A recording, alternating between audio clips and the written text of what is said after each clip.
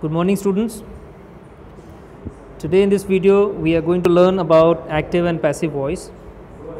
But before we move forward to learn how to change active into passive, we should learn, we should know what are the uses of passive voice. Why do we use passive voice? When active voice is there, then why are we supposed to use passive voice and in which circumstances can we use passive voice?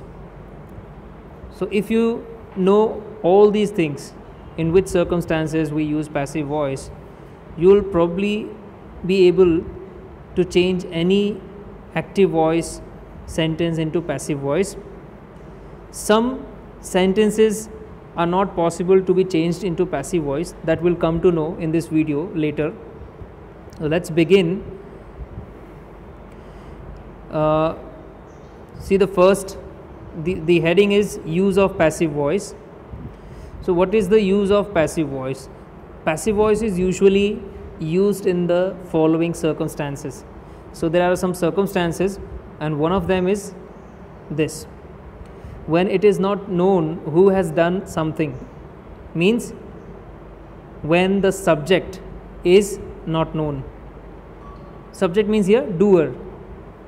What do you mean by doer the one who does something okay that person is called doer.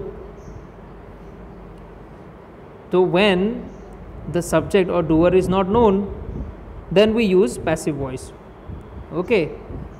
Examples the girl was lost in the fair the girl was lost in the fair. Now nobody knows who uh, actually loses the girl but the important thing is or uh, what is actually not known that somebody has lost the girl. So we don't want to mention or we don't know who is the doer. And that's why we are just mentioning what has happened. Not who did but what has happened. Okay? So the girl was lost in the fair. Who loses her? Nobody knows. Okay? The doer is not known Let's see the next example. The church was built years ago. Who built the church? Nobody knows, but it is sure that the church was built. Okay, so the doer is not known. Means who were the workers who built the church? It is not known. The chair was broken yesterday. The chair was broken yesterday. What what happened we know, but who did that we don't know. Okay, so here we can use passive voice a bomb was exploded there. Now who exploded the bomb? Nobody knows. Okay. But what happened? Bomb a bomb was exploded. That happened and that we know and that's why we, we are using passive voice. So in the absence of a doer we use passive voice. See the next condition. When the object is to be made prominent prominent you understand? To be made important. Sometimes what happens who did is not important but what happened is important or the object is important to be mentioned first. So the object is made prominent it's made important. The fearful lion was killed by him. Okay. See what is more important? The fearful lion was killed. Who killed it is given second priority, not the first priority. The first priority is given to this portion, the fearful lion was killed. And that's why this object, uh, the fearful lion, is made prominent. Okay.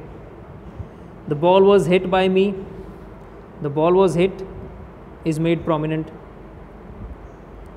The letter was drafted by the principal, the letter was drafted, is made prominent a mistake was made or committed in publishing the results. Now you don't see any uh, subject after by. So it happens you are actually not uh, um, forced to write by then subject sometimes. It is okay and it is understood what happened Number three, sometimes to make the sentence polite, the doer or the subject is not mentioned.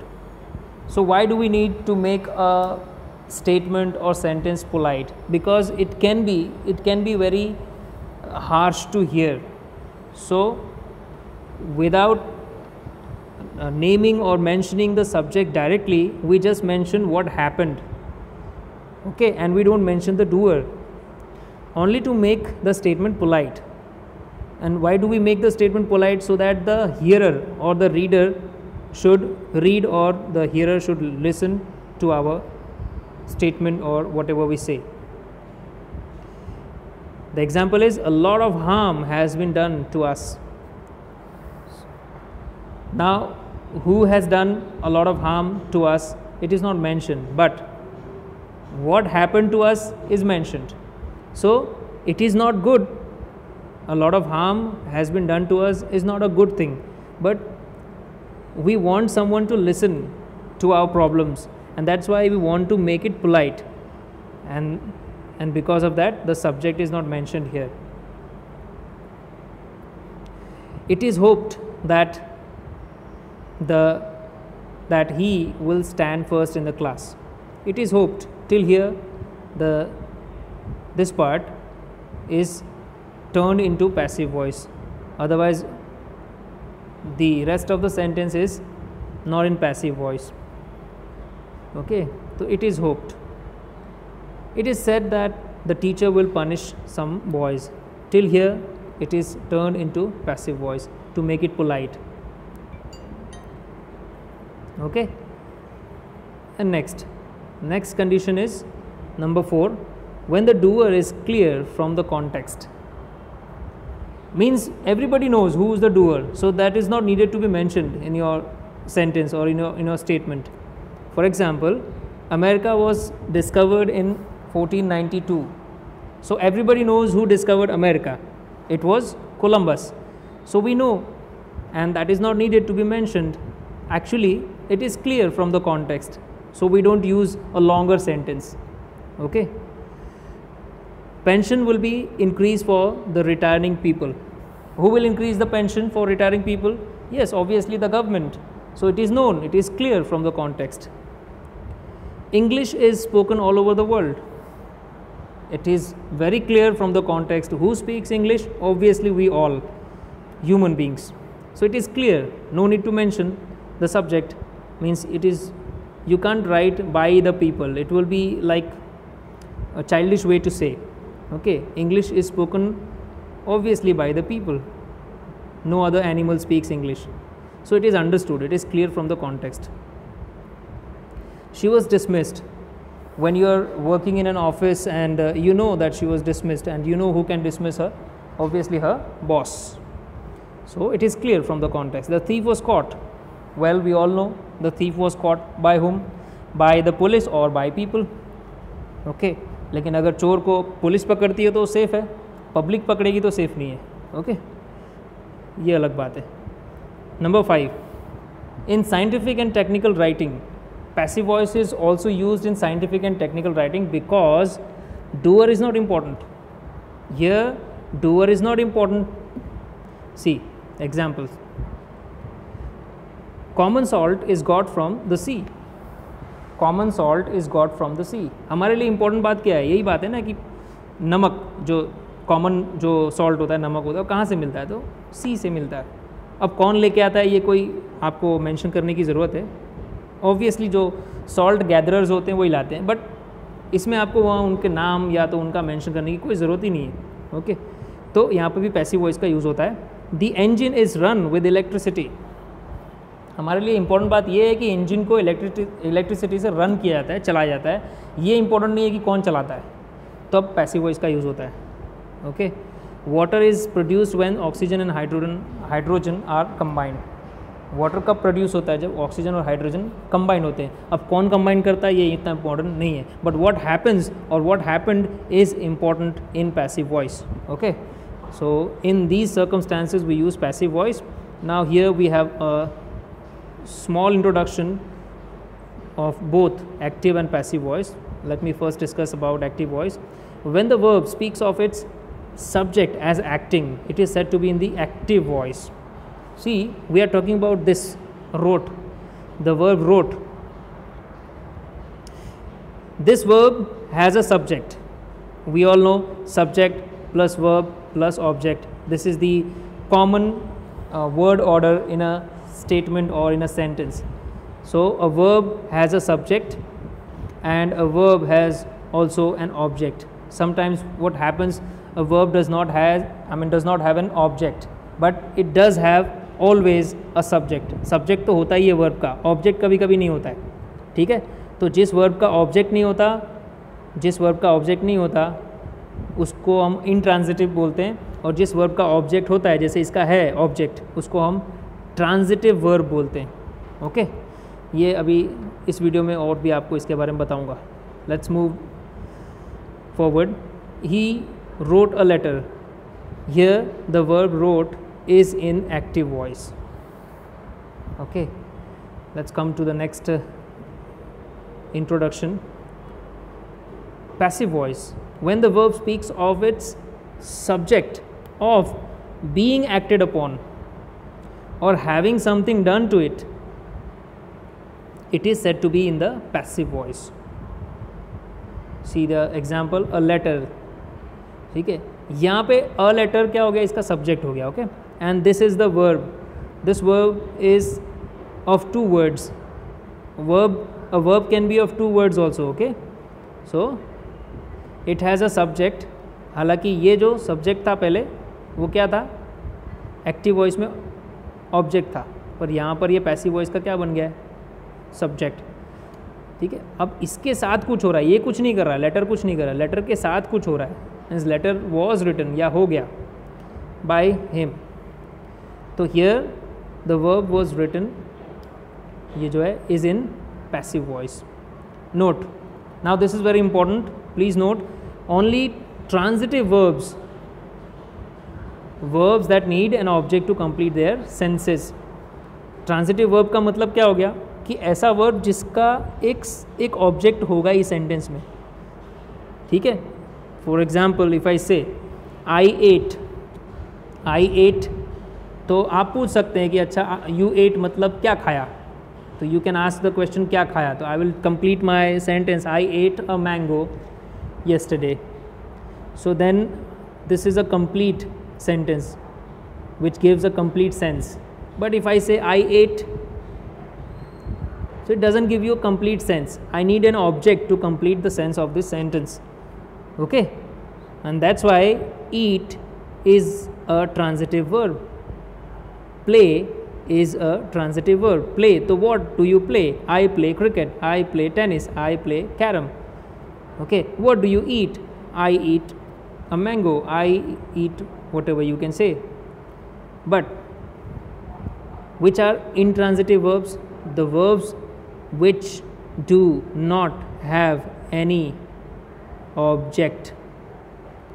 If i say i run on the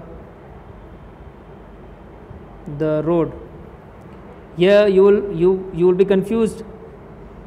Run word is a verb and do you think it has an object? No it does not have any object. You can't ask the question with what. What do you run? Is it okay to say what do you run? You will say where do you run? So if you can ask a question with what then only the verb works as a transitive verb. Otherwise it is intransitive. Okay? Okay let's see the next point in active voice the subject is given the supreme importance. Remember this. When you want to give supreme importance to the subject you use active voice. And when you want to give the supreme importance to an object it is passive voice. Now let's see which kind of sentences can be changed into passive voice and which kind of sentences cannot be changed into passive voice. You see Raju played cricket. Here you can see simply Raju is a subject, verb is played and cricket is its object. That means it's possible to change it into passive voice. See, I have taken the object first cricket and it is verb second form that means past tense. So I have used was played. This is verb third form. Okay, played second played verb का second form भी है played verb का third form भी है इसके साथ was पहले आ गया है पास्ट टेंस है इसलिए बाय राजू अभी आपको रूल्स पर ध्यान नहीं देना है just see which sentences can be change into passive voice और not okay see this is you know this is a transitive verb here also cooks is a transitive verb because it has an object and that's why it is possible to change it into passive voice okay she cooks food food is cooked by her it's very simple you for this for you it's very simple. I have just given you simple examples to understand how uh, any sentence can be changed into passive voice or not. Okay let's see the third example. He, he laughs. He laughs. Laugh laugh does not have any object and it can't be. Laugh is working as an intransitive verb.